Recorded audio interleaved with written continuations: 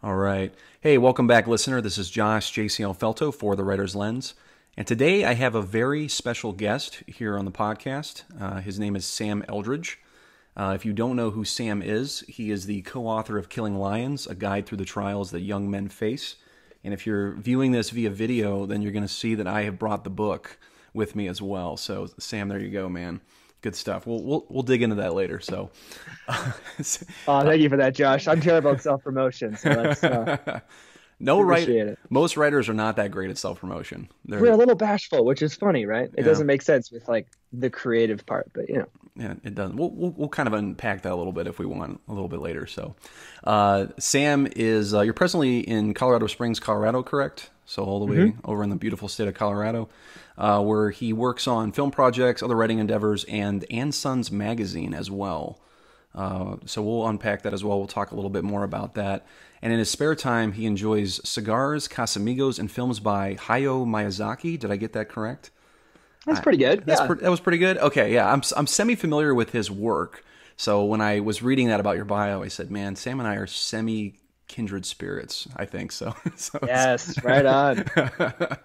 Uh, and then, if that weren't enough, uh, he loves riding motorcycles, sailing, cycling, and adventuring with his wife Susie. You're like the ultimate dude, man. You're, you're oh, jeez. Like... you know, you take the little snapshot, and I think anybody sounds pretty cool. Yeah. So the day to day is much less sexy than that. it's all good. It's all good. Sam, uh, thanks so much for being here on the Writer's Lens. I really appreciate it. Um, yeah, Josh, thanks for having me on. Yeah, man. Obviously, it's one of those uh, cool moments where I've read someone's work and I enjoyed it and I thought it was really good. And just being able to kind of talk to the person who was behind it is a real um, blessing. So thank you so much again for just taking the time, man. Yeah. Oh, thank you. So, so for those who don't know Sam, other than the really cool snapshot that I just gave of mm-hmm. your life, what is your story? So I, I haven't really laid out any foundation as to you know the group at Ransom Heart or even uh, you know the boot camps and even the podcast necessarily that you and I think Blaine do together. Mm-hmm. Yeah. Uh, what is the story of Sam Eldredge? Where is he at today? Like where has he come from? So so let's Woo! let's. Oh, okay, just that. Um, yeah, I'll give you the a short and hopefully uh, colorful synopsis of that. So grew up in Colorado, the son of John Eldredge, who wrote mm. Wild at Heart. Now, I don't know, what is that? Almost 20 years ago. Probably. Um, probably.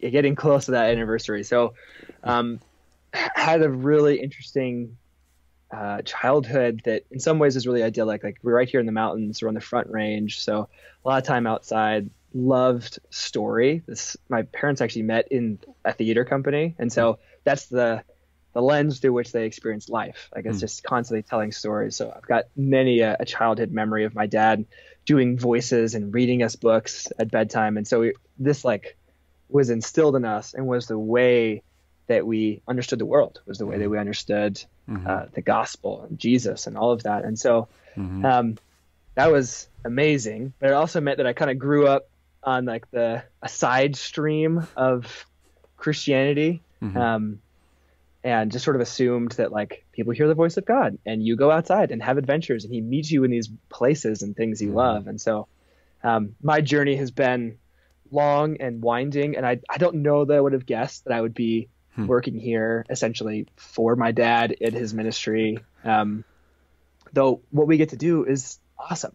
Mm-hmm. We get to be creative and have all these like entrepreneurial sort of uh, problems to solve where we mm-hmm. write constantly and um, we might go on this more later, but I had to I had to work through a bunch of my own identity and, and wrestlings to get mm. to that mm. point. It, it, wasn't easy and isn't for anybody that's worked with family. You know, mm. things have to be healthy or they're unsustainable. And so I've been here for four years and it's been a blast.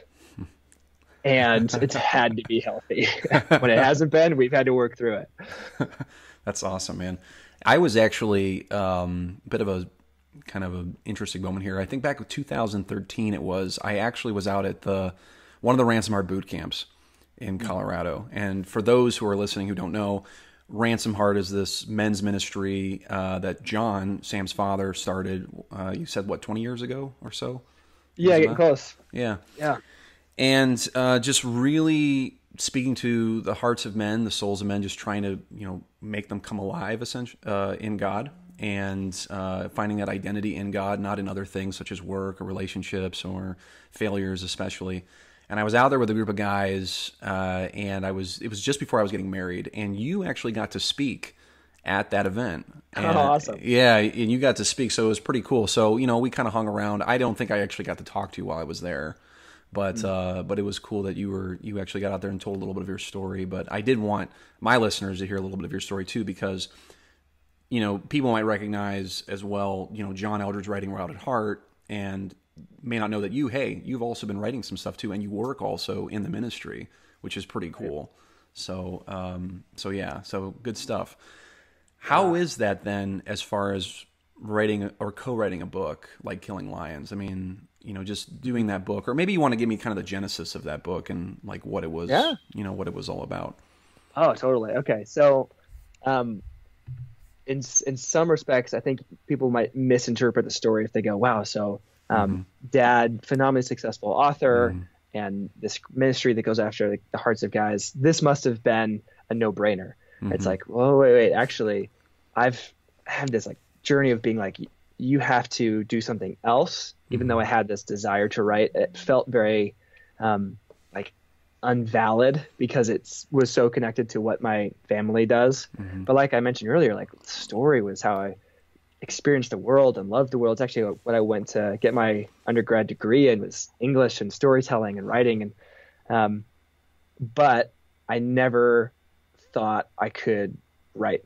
Like mm-hmm. despite doing it all through college, it was sort of like this. Yeah, but then it's going to stop, or somehow it's invalid, or mm-hmm. I mean, you name it. I actually believe I needed to write with a pseudonym. Like if I used a pen name, somehow it would be like okay. I, I don't know like how this happened, but this is this is just the story. Mm-hmm. Um, and so post college, um, thankfully I've got a really great relationship with my dad, and mm-hmm. we started having these weekly conversations. Mm-hmm. We jump on the phone and like I think it was Wednesday nights because I went from yes I'm gonna be a writer, I'm gonna do these things with my life, it's gonna be like super clear, and then I think as most people experience in that transition, it's like wait I am my job was running errands for a wealthy family in town.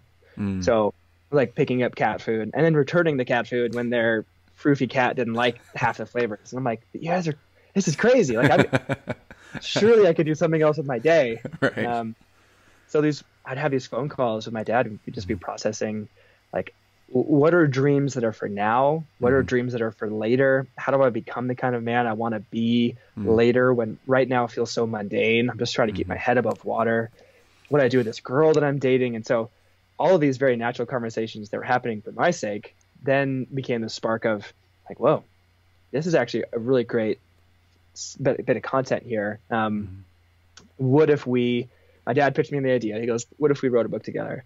My mm-hmm. immediate reaction was no. right. Like, for, for, all of those things I already named, like I don't want to uh, mm-hmm. write with my last name. I don't feel valid in that. Mm-hmm. And I had to have there was a conversation with my uh, brother-in-law actually, who was mm-hmm. like, "You don't your your door that's opening seems invalid because of your story, but for mm-hmm. anybody else, that'd be such like an obvious open door. Like, take it. Like that opportunity is there. You'd be a fool mm-hmm. not to." And it was this like, oh, I've been I think living in some false bravado that I had to make my own way, reinvent the wheel. And so when I shifted internally to, yeah, this is something I want to do and this would be an amazing experience, um, I ended up coming out to Colorado and for a summer co-authored a book with my dad and it was it was an amazing experience man like it was awesome it was one of the best like four months ever where i got to just mm. learn from him and really kind of take not kind of fully take the low seat at the table. right. be like, this is what you do. You're gifted at this. Teach me what you've learned. Mm. And it's going to be this dynamic writing stories and questions back and forth. And like, mm. I mean, it was that summer was a total joy. That's awesome, man. It is interesting when it comes to writing how we feel like we have to have our own sort of almost like pride rock. You know, like totally. we, you know, we have to have our own foundation. We have to have our own platform and all these things. And and isn't the reality of anything that we do in life, we have to have someone that's willing to show us the door and to give mm-hmm. us like a rite of passage, even, you know, into that space. Uh, so, you know, I, I still wrestle with this myself. I mean, I'm I'm the only one in my family. I have five brothers. So I got, oh my gosh, I got, I got five brothers, and they run the gamut. I'm, I'm right in the middle. So, so I'm the, I'm the only one that's published anything thus far. I don't know if the other ones are ever going to publish anything, but it's strange how it's, it's like desiring somebody that would have been in the family. I've, you know, thought about this once or twice. Like that would have been like, yeah, this is what you do. This is actually mm-hmm. the process. This is, this is going to be your you know your launch pad for the next five or six years and this is what it's going to look like and having somebody really close to me that could say that uh, it's just like oh man that would have been really cool to have you know someone it was a huge gift mm-hmm. yeah i mean to have that was amazing and there is that tension of i have my own voice i have mm-hmm. my own style what like if i were i'm dreaming of doing a solo book project and what does that mm-hmm. look like is it mm-hmm. all of those pieces and mm-hmm. like i there is something humbling about asking for help, yeah. right? Mm-hmm. And it, it may not look like kind of what you're expecting. For me, mm-hmm. I totally expected to be like, I'm going to go to some writers conference. I'm going to like meet some sage. I'm going to do this thing. And it was like, somebody would be like, dude, like your dad, why, are, why is this not obvious to you? to be obvious to anyone else. Like, oh. Good point. Yeah. Sometimes those are the hardest. That's like the hardest window to look through, man. It's just like, oh, he's right there. Okay, that's cool. that's that's good. So as far as just that inspiration that you talked about, about you know this sort of story, conversations between father and, and son. I mean, is that really like the voice that you feel, especially with the and sons? If we want to transition and talk about that a little bit, is mm-hmm. that really an area where you feel like, okay, this is where my heart is? Is that I want to help other young men recognize like humility, uh, the ability to ask for something, I mean, is that where you feel like some of your vo- your voice has really emerged? Is in that specific area, mm-hmm. or do you have more like, okay, there's other things I want to do, obviously, and I'm going to do yeah. them off over here, or is this the kind of the primary voice? I mean, what are your thoughts on that? Yeah, great question. So, um, I, I, would go to these events, like the one you mentioned, that these mm-hmm. events that the ministry puts on the mountains, and like they are phenomenal because you watch the power of story of the larger narrative and of our own lives, the way that mm-hmm. our, our stories are unfolding, mm-hmm. and then the ways that we get to go after men and, and, meet them there. And I'm like, wait, this is amazing work. Who wouldn't want to do this? Mm-hmm. And and yet there's so there's a part of me that goes, yes, I can come alongside it, and there's something that I want to bring as well. So mm-hmm. that's that's sort of like the meta answer to the question of with And Sons. I think I first started with the the college friends I had I was mm-hmm. watching their lives, and I, I'm constantly looking ahead in decisions to see if it's something I want to do. Like, does is this lifestyle sustainable? Mm-hmm. Is the guy who's been living this for 30 years a guy I want to be? Because if not, like, why would I do that? Exactly. Now, I smoked cigarettes for a super long time. It, it, it can be incongruous as well. right. However, I I would look at the the trajectory my peers seem to be choosing, and it was like do you company up? Do you just kind of get by the next thing that feels really good that makes you look like you're successful? And mm-hmm. looking at that going like, I just there needs there seems to be more. And mm-hmm. so it was part seeing a need that my friends, I mean thinking about the wider world, people that I could actually picture their faces and be like, Tyler, Trevor, like I can I, I, know who you are. This is for you. Mm-hmm. Let's go on this together because I'm not there yet. So that's a lot of the tone. Is this? Mm-hmm. I don't pretend to have any more answers than the ones I have, but if we're side by side or I'm one step ahead of you, and a half mm-hmm. step, it's like come this way. We're on. We're looking on this journey.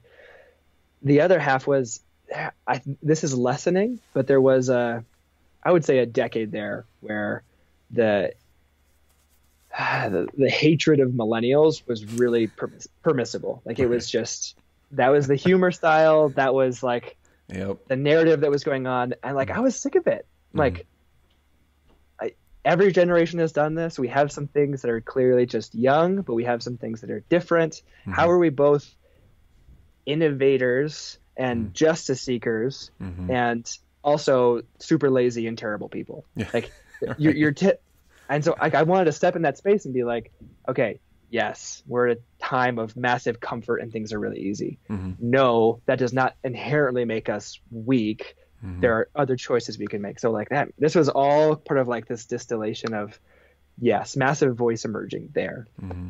Mm-hmm. However, in that journey, I've totally found I come alive in talking about things that I care about, which sounds obvious. Like Yeah. everybody does. Right. Um, but a couple of years ago, my wife and I um, experienced a miscarriage, and it was massively painful and formational for us. Mm. And I basically sat down on my computer a week into the process and just closed the office door and wept and wrote for like two hours Mm. and had, had no doubt that it was to be offered to the public that this Mm. was part of my healing process but also part of my why would i talk about anything else like this is Yeah. this is where my heart is this is where my grief is this is where my pain is if i can bring words here that will connect with other people's stories like Mm. this is amazing and so that's a place where i've really found i don't need to go like looking for grief to get ammunition or fire or like Right. there's plenty of that out there Yep. but i know that like my heart is particularly sensitive to those things and Mm. and willing to talk about them willing to go there and i didn't know that at first that took me a little while in the writing in public Mm-hmm. world to be oh this is something i'm comfortable with and Mm-hmm. i i love doing That's really awesome, man.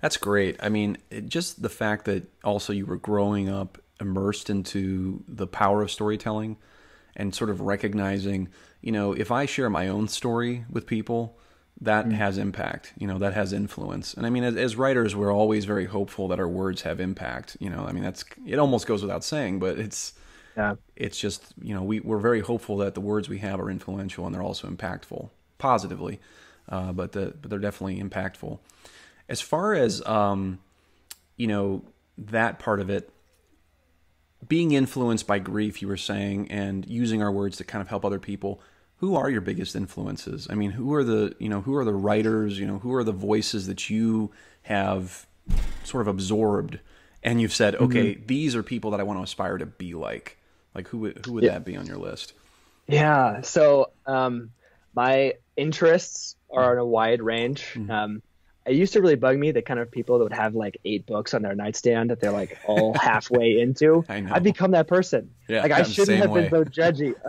I'm the same So- way I, I totally geek out with like Stephen Hawking's A Brief History of Time, where I'm like, this is amazing. I, I want to do something with all of this craziness.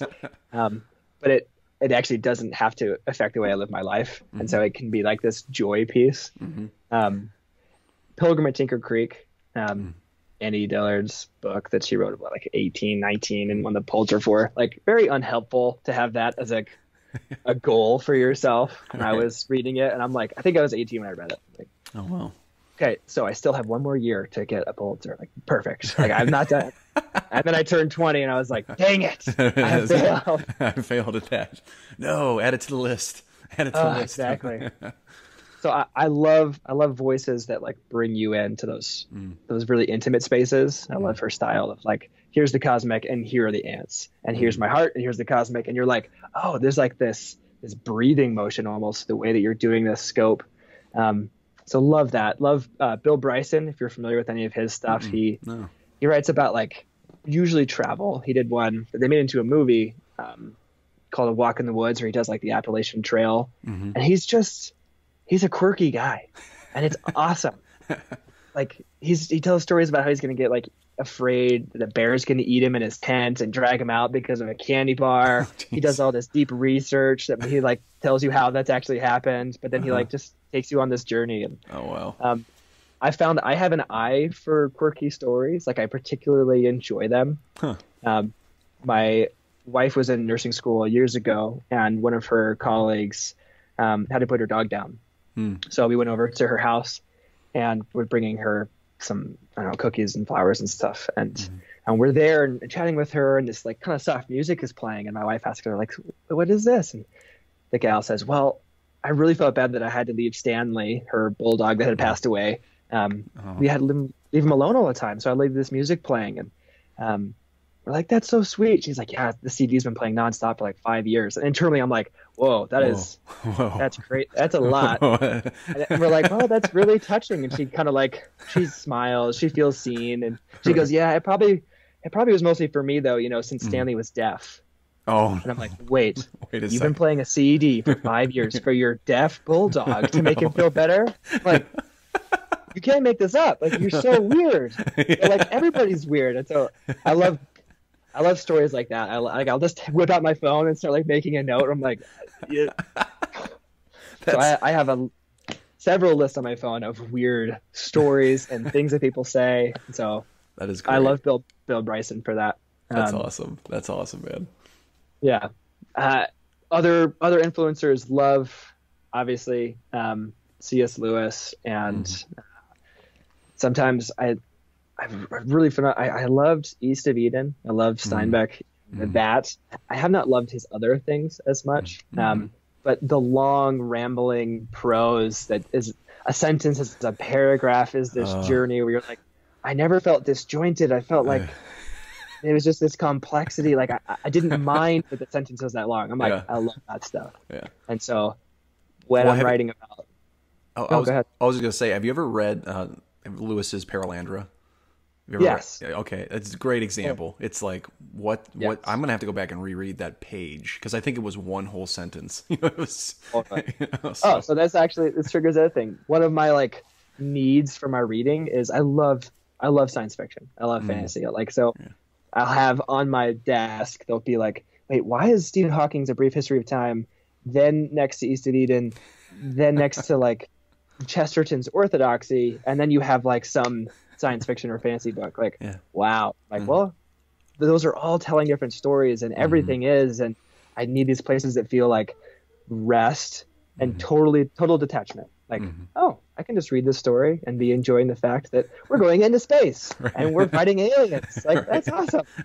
And then I can read something about the soul and not feel like everything is demand and ask. Yep. So That's good, man. That's that's really good. I again, I bring up the kindred spirit because I I have on my dresser next to our bed. I I had about four books just stacked up. I think one of them was actually your dad's at one point, one of his most recent ones, and I had to go put that away. Yeah. I was like, no, I just I can't do any more Eldredge right now.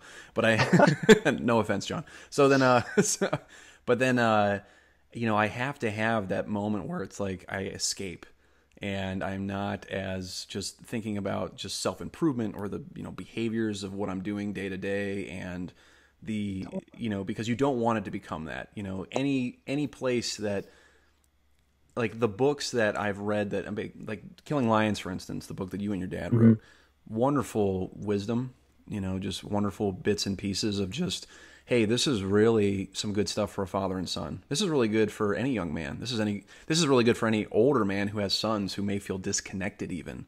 You know here's some ways mm-hmm. in to have conversations.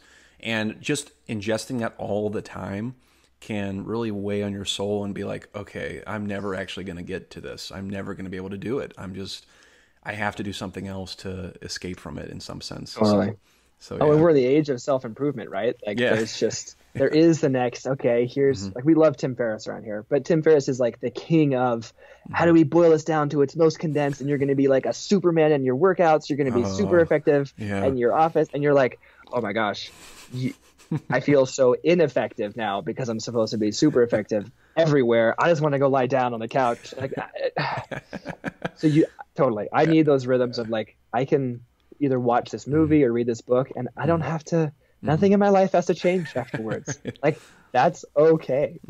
And isn't it isn't it kind of like that is the the stereotype of the writer though, like the like the the freelance writer who just Which part? yeah, well the, the part of like I just do things on a whim and like I when I feel inspired I Ah, will yeah. I I will do it when you know the wind blows correctly and I'm outside and, and I'm immersed and you know the leaves are blowing just right and I hear the That's the, very romantic. you know poet of you. Yeah. yeah you know Yeah. so it's it's kind of like there's this romance of wanting to be a writer because everything just flows and there's just this you know unfiltered unadulterated anything on you and yet Mm-hmm. the reality is is like if you're really trying to hone the craft if you're really trying to become a master of it you you have to get away from the leaves like you have to you know you, you got to get out of the whispers in the wind man you got to actually like you know build the foundation and go for it Right. So It becomes a lot more like exercise, and Yeah. Mm-hmm. we don't like that. We like the idea of it being this inspiration. Where's my muse? I need like I'm gonna go to it for a week into a cabin in the woods, and then Mm-hmm. my novel will come. And it's like, well, maybe, Mm-hmm. or maybe you'll find another distraction there because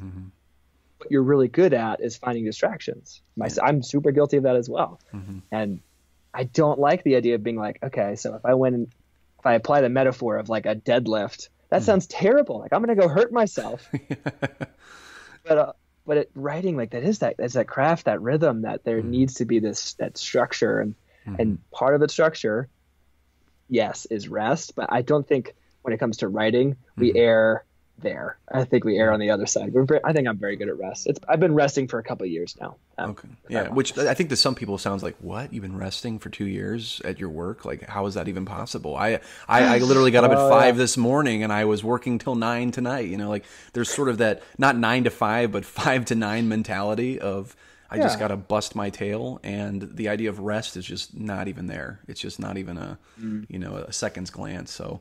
If you want to unpack that a little bit more, you know, feel free to. Yeah, that's super fair. So rest mm-hmm. is really contextual, right? Because mm-hmm. we do a weekly podcast. We're about to put out a print, uh, our third installment of we now do a print version of our magazine. Mm-hmm. Um, so we've been working our tails off on that. There's new content we're running for that. I've actually been doing different correspondence with readers for this letters section, writing forwards and new articles. So actually, I consider all that rest because that is not work in my creative writing space. Mm. And I actually say the rest there with a little bit of disappointment. Like I haven't been fighting for the space of going and spending that hour each morning practicing those muscles. That's actually atrophying for the sake of mailing out magazines and Yep. doing these these other tasks that have taken their place. Mhm. Um, so rest has been really good because there there is maturity there. Mhm. There is like, oh, the thing I would have said or did say last year, I wrote 80% of a book five years ago and it's sitting on Google Drive. Oh, I, I know didn't the like- feeling. I know. and exactly actually, what you mean. there's part of me where it's like that. I just need to finish it. Um, Casey Neistat has a saying that I really do appreciate, which is "Don't let perfect get in the way of good. Mm. Don't let this thing that you want to just. You can craft it forever. Mm-hmm. There's this. There's that book that I forget the title now, but the claim to fame is it took the author ten years to write it. And I'm like, that's easy. Yeah. Are you kidding me? I can I can totally spend ten years tinkering away on something. I have. Mm-hmm. Yeah. I'm gonna be able to say that about mine. What's hard is finishing and being okay with where it is. Yes. And being okay with like this is a lifelong thing. And so yeah, when I when I say I've been resting for two years, it's like, oh, there's actually a little bit of disappointment and Mm-hmm. I have been focused on other things, Mhm. resting the the creative writing space. That's So- good, man. That's really good. Um, it made me think of two things actually. Well, first of all, uh, are you familiar with Lewis's Great Divorce? I'm sure. Mm-hmm. Okay, like you know, like the scene where he's watching people like in hell and they're just rebuilding things constantly. And it made me when you said the when you made the comment about you Uh. can always recraft it and you can always just redo the story. It made me think of that for a moment. Like that's kind of like hell. Like if you're just Mm. always resculpting it, you're just trying to make it that much better. Because I think as you know, it's like as time goes by, every writer changes maybe slightly, and if too much time goes by, it's almost like you you run the risk of okay, now I'm ingesting something else, and the way that I'm filtering it onto you know the keyboard or on paper is going to look a little bit different, and what my Right. maybe taste is might be a little bit different too. And I know that might sound frightening to some people. That oh no, if you know if I don't get to that work I was four years old. I'll, be, I'll I'll go back and look at it. It'll be horrible. It's know? tricky, right? Yeah, it it's, is tricky. it- it's very tricky, and so I guess it, it is. It does benefit from having a more open kind of. All right, I know I'm going to be always changing a little bit. I'm going to be learning. I'm going to be, you know, cultivating hopefully better habits and better disciplines than anything else. Oh, I uh, think it's super helpful to be like write a short story. It's going to be two pages, and you like you have to finish it today. Whatever you don't do, that short story is done, Mhm. and just experience that like okay, and here's how I would tell it right now, and like mm-hmm. oh, the next day I might want to like change the color of the grass or the season. It's like no, no, no. Mm-hmm. I think of this metaphor of like people will draw connections to other artistic things, and so you are the mm-hmm. Sculptor carving this marble statue.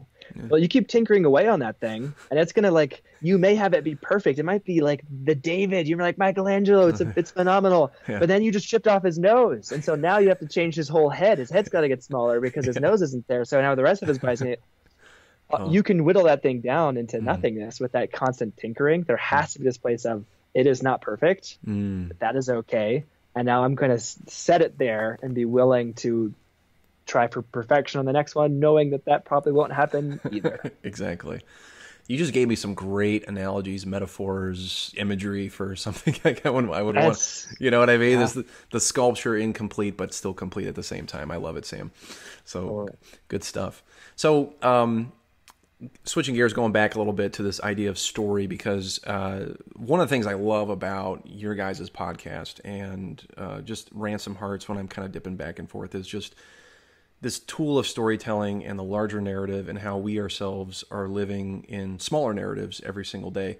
You know, mm-hmm. as as individuals, as people, like I've always I say on my own podcast, like we're wired for storytelling. Like we're definitely wired for that. I mean, I know you guys would would say the same, but as far as people in general thinking about the impact and the importance of good story, you know, is it important that we all either recognize that or that we are good storytellers? Like, should we should everyone try to be good at this? In some way, mm-hmm. shape, or form? Or you know, what are I guess what are your thoughts on that? Yeah, I mean, we were just having a conversation about this recently um, mm-hmm. because I, I want to make space for everybody has different gifting. Like you do not need to be a phenomenal writer to tell your story well. Mm. You, like there are people that are phenomenal on stage. You hand them a microphone and they're just going to go, and that person doesn't have to be you either. If you're really good at writing on black and white. If You're good at like mm-hmm. here I am on paper and, I, and, this is my safe space. So there's like there, there's many ways this plays out, but I think for the average person's experience, the, the only way they might hear story is like maybe around testimonies or maybe around mm like these big dramatic moments, these shifts, these like, and this is how I look back now and understand everything. And like that, that is helpful, but that's like, that's a slice. Mm-hmm. That's a slice of storytelling. Yeah. Um, we believe it's really important to be able to read our own lives as a story, and they are unfolding. And so, looking backwards is helpful, but even looking into today and what is unfolding, what's unfolding in this season in front of me. I may not know what's coming, but there are there are flavors, there are trajectories, there are old patterns that, like, mm-hmm. if, if we don't read them, we will be blind to the way that they're going to play out. And so to that, I would encourage people to practice mm-hmm. it. Like I, you may not need to be an orator. You may not need to be a raconteur. You may not need to mm-hmm. be able to sit down and tell your story in a blog. That's okay. Mm-hmm. But I would really encourage everyone to practice uh, telling a small story of the last month, telling a mm-hmm. story, like a, give a snippet and give an attempt of like, this is where I was, this is what happened, because that is going to lead into oh and this is how i felt this is how i some this is what a lot of journaling is right for yeah. people that are like they get into that they're they're processing this whole internal story because whether we're aware of it or not we are telling ourselves stories mm-hmm. the world is telling us a story mm-hmm. um, the people that want to sell you stuff are phenomenal at telling stories and so if you are the weakest storyteller in your world the everyone else would be happy to tell you a story for you hmm. and you're going to end up just playing out the stories that they're projecting. That's really good. That's really good. Do you? Um, I don't know if you're familiar with uh, Jeff Goins at all and his hmm. work, and uh, he he does um, a podcast on writing, and uh, I'm not so sure if he's continuing anymore, but he has a really good episode or a podcast that he did on just how if you're not willing to kind of help your own identity, someone will give you one. Totally. Uh, yeah, and so I, I always thought that was really good, coming from the perspective of well, if I'm not at least doing a little bit of self introspection here and taking some inventory from time to time, it's very easy to be caught up in I believe this or I believe that just because it's been told to me so many times. And mm-hmm. now it's just been ingrained in me and I'm maybe just living it out because that's all I know. You know, and I've totally. never, and I've never taken the the uh, maybe the initiative to even challenge it. It's so. so good. I mean, this is a huge part of what goes on in the counseling office for people to have experienced that. Mm-hmm. That that's going to sound very familiar. Of like, oh yeah, like the the words that got spoken, the story that then played out. That's certainly true of my story. I talk about that a little bit in Killing Lions. Mm-hmm. But for people that haven't been in that context, they're like, that is that's a huge piece of unpacking your life. Be like, yeah. why do you? Maybe you self-describe as being an introvert. Like, mm-hmm was that something that was said over you when you were five and then you just sort of said, "Oh yeah, I guess I am," and you kept living that way, but you're really lonely and you want to be with mm. people more. Like, hmm. if you're not if you're not aware of the story being told over you, you're gonna be living under it and be really struggling against it. And you're like, "Wait, why do I? Why am I hmm. lonely?" And I feel like my personality is different. There's just there's so many ways this plays out, and so yes, totally. I come back to it, you don't have to do it perfectly. You don't hmm. have to be the most dramatic, like, and then this happened. You don't even have to know yep. where the crisis is. You can just begin with what you think is mm-hmm. a very normal day. Mm-hmm. There are no normal days, All and right. so you right. can start there, and it's gonna it's gonna end up being very helpful. That's that's good, man. That's really good. So as far as where you guys are going in the future here with And Sons, and you know just where you know Sam Eldredge is going, what he's doing, what is potentially on the horizon? Because I know that I mean this book, Killing Lions, dealt a lot with just masculinity, you know, and the rites of passage of it.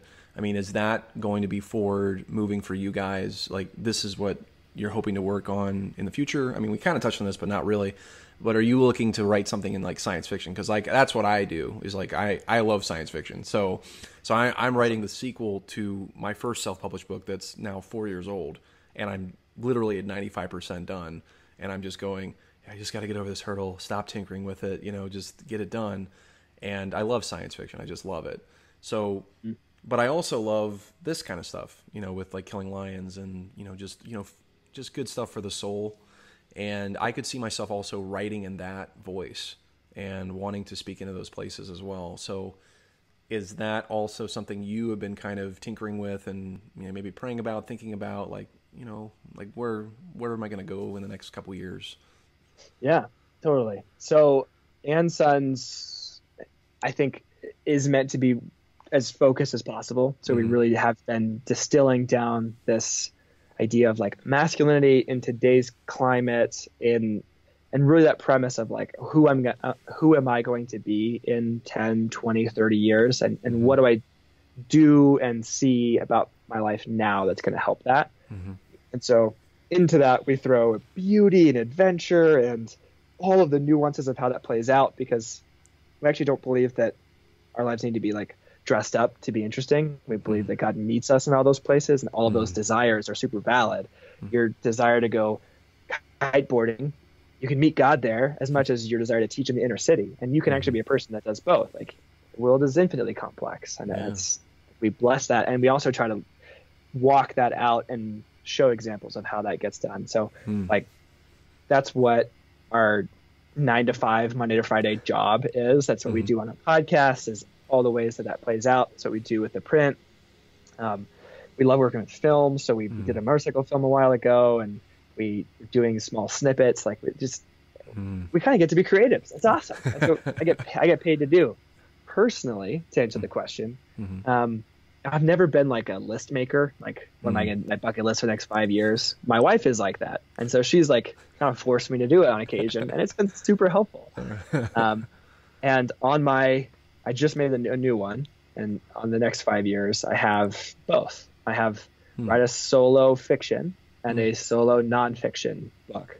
Nice. Um, I think, I think like the ability to tell stories and to offer insight into man and the hmm. heart of the mm. world and the heart of people is going to happen in both genres. I think mm. one like the nonfiction is a little bit more heavy hitting on that, and then you end up telling stories to provide breathing room. Yeah. Whereas the fiction side, you tell the story, and through it, you reveal mm-hmm. what people are like and what you think about the world. And so, um, I think you can do both well, and I've seen that done all the time. So mm-hmm. I, that's that's where I'm at these days, and um, dreaming about those, dreaming what they would be, um, and like I said, I've got 80% of a nonfiction written that I now would would totally start carving in that marble and break off pieces and try to glue it somewhere else. I don't, I yep. don't really know what that one. Hmm. That one, I kind of ask myself the question of like, that one feels more in the professional and sons type mm-hmm. channel. Um, mm-hmm. And it's a little bit of like, if this was my last year doing this, what would I wish I had done? What hmm. I wish that I hadn't left unfinished? It's like, oh, well, I'd want to condense a lot of what we are up to because there's so much now and be like, here mm-hmm. is the resource for that, and now I can walk away and into the next thing feeling good. So that's kind of more what I see that being. Hmm. Um, the fiction thing, I've got two younger brothers, and we all like love fantasy and sci-fi and Miyazaki films, and, Yeah. and we'll be like, "You guys don't watch the latest Star Wars teaser that just got put out because they should have saved this for the movie." You know, like, all- like it's just kind of constantly going on. Um, so I'd love to write something that a younger version of them Mhm. would have been stoked to like Oh, that's awesome. have over the summer. yeah. That, that's my like my vision. I, don't- I don't know what the story is yet, but I know like that's the the audience I have in mind, and it's that's like just brings joy. That's awesome. That's awesome. Did you see that Dune is getting a, a new movie? I don't know if you're familiar with Dune at all. Oh, super familiar with Dune. Oh, that's good. I I have not seen the film movie. okay. Uh, the book. I've when I counted the book, I Mm-hmm. like had that moment where you sit down on the couch and you're like, how did no one show me this? I How know. did I not find this sooner? Like this is amazing. I'm not going anywhere. So I had no idea they're making a new movie, and Yeah. I'm a little worried. The guy, yeah, the guy. I know. It's always like when you hear they're doing some kind of like franchise, potential franchise in Hollywood. You're just going, oh, please, please find someone that will do it justice. Please don't do something ridiculous and off the off the deep end and have all these other agendas and everything Yep. else. So um, the guy who is directing it, from what I understand, is the same person who did Blade Runner 2049. I think it's Oh. uh, uh, Denis. I don't even know. I can't pronounce his last name, so I'm, I'm going to botch it. So I will not say who it is. But the the director for it, I believe he's the lead director on it. And I, I I was I was very much tickled pink when I heard about that, Sam. I was like, yes, thank That's you. cool. I think that'll yeah, be I mean the, right guy. that's an aside.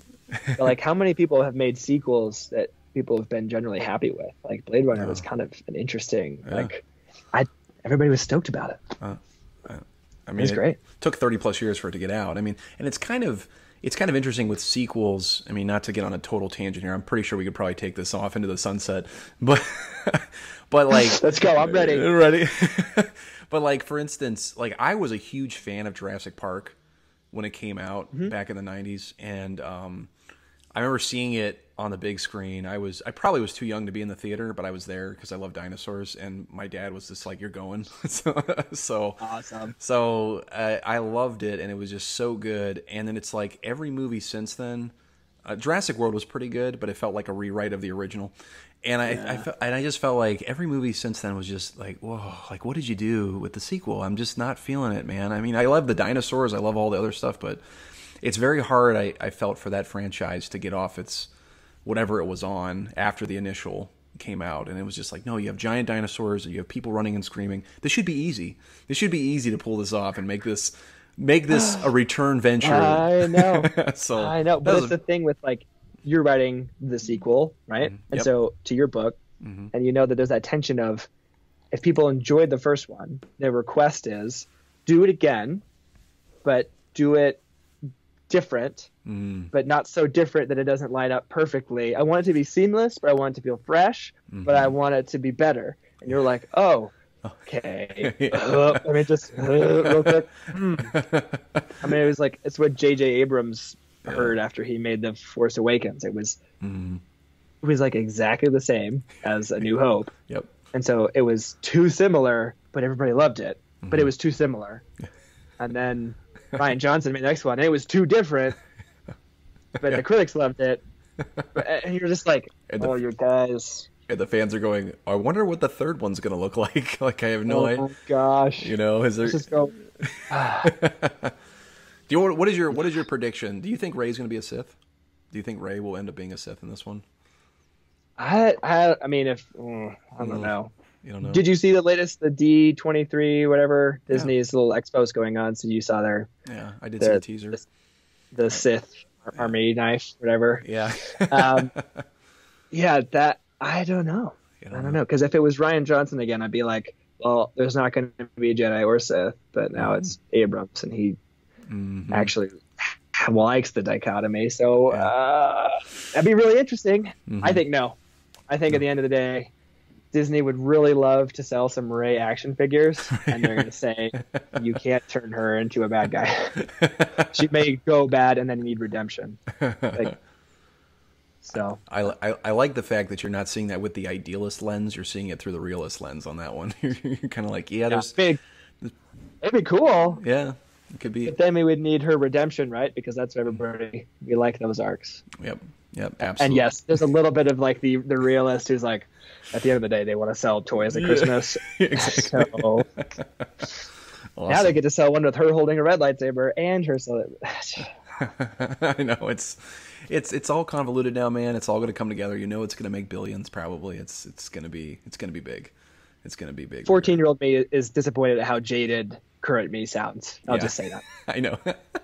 Trust me, I have I have five brothers, Sam, and we have very sort of open dialogue, and it goes every which way about the new Star Wars trilogy. So it's it's a it's a pretty pretty similar dynamic. In fact, there's probably one brother who's totally who's a lot younger than me, um, who is a little bit removed from the Star Wars thing, and he is just like, "Oh, really? They're making those?" And we're just like, "Okay, you're not allowed to talk anymore. You're just you're out. you're done. You're not." You're, And you've been muted in this conversation. exactly. Just go back to doing whatever you're doing. We don't even know anymore. So just go over Uh, there. So so excellent, excellent, man, excellent.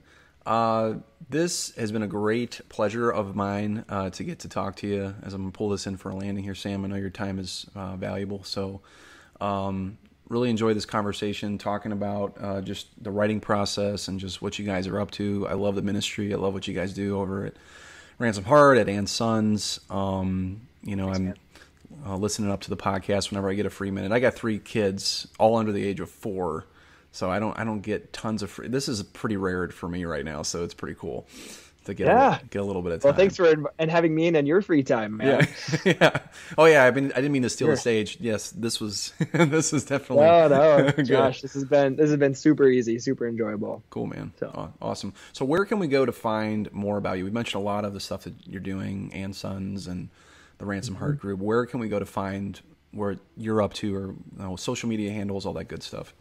Yeah, yeah. So um, we're both and Sons and and Sons Magazine. If you end up typing in the full thing, um, you'll end up finding us. Um, we're everywhere podcasts are hosted. We're on Spotify. We're on iTunes. We're on Stitcher. All that good stuff. Um, but I would totally send you to andsonsmagazine.com. We've got kind of a cool uh, trailer there for the print, and that's where you can find access to those things as well as the archive. We did an online magazine for seven years, so there's just all this content on there for free. Um, and then if folks want to, we do a subscription. Um, it's like ten bucks a copy for these things, which is killer considering how much it costs to make and the quality. Like we're we're giving these things away. So it's it's awesome to be in a place where we get to do that. But yeah, and sons and sonsmagazine.com. Awesome, awesome, Sam. Well, keep up the good work, man. Continue to rest when you can. Um, do you have a you have a little one now? Correct. Yeah, Or- we got two. So Oh, we have yeah. two. Uh, we have one year old and two year old. Awesome, awesome. So your hands are full as well. So I totally Yeah, I totally- yeah. In the thick of it, just just right with you. yeah, exactly. So three was kind of. I think three's our breaking point. So if you're thinking of doing the trifecta, uh, Mm-hmm. kind of like your own parents did, I mean, just that probably would be the breaking point. I think so. so we'll see. I don't know. I don't know if you guys are know. thinking. I don't know if you're thinking that long term yet, but but yeah. Oh no, we're, we're hoping for four, but uh, Mm-hmm. right now two feels like plenty. So we're gonna give it a little bit of breathing room. right. I see. I see why people decide to stop. I would just say, plenty of mercy there. right. well, good for you guys, man. Good for you. So, all right, Sam. Thanks again, man. Check him out at And Sons Magazine. Uh, Sam Eldredge, thanks again for being on the Writer's Lens. Thanks, Josh.